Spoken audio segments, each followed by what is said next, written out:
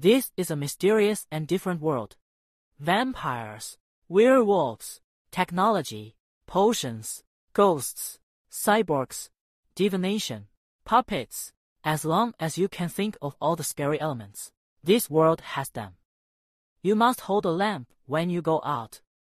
Can't he go far? Ten meters away from the gate, the darkness outside will engulf you. Whether it is a person, a ghost, or a stitching monster who comes to the doctor, you must remain calm. If you don't calm down, it will be malicious to you. In front of the dilapidated table, Ling held a quill and lit the lamp. In the diary, I wrote down my guidelines for the two years since I traveled to this world. Ling, it's time. Hang up the lights and get ready for business. A hoarse voice sounded like someone was chewing on a bone. Ling shook his head. This voice was the owner of their pharmacy, and his teacher who rescued him two years ago, and he was the clerk of this pharmacy in another world. Here we come! Ling yelled. But at this moment, a cold synthetic voice suddenly sounded in his mind. Ding! Your teacher Bloodsaw Maniac has issued a task to you. Open the door for business. Hang the soul lamp at the door. Reward for completing the task.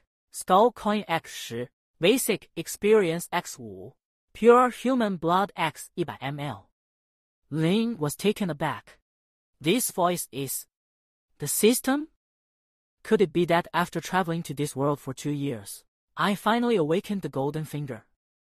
But he didn't he study it immediately, because he knew that if he didn't he act immediately according to his teacher's order, he would die.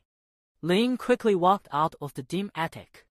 He saw his teacher dragging the body of an unknown creature that had been cut in half, walking towards the operating room next to him.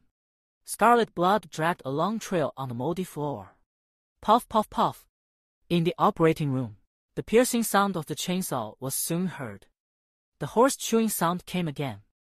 After opening, sort out all the medicines that expired yesterday and feed them to the little ones in.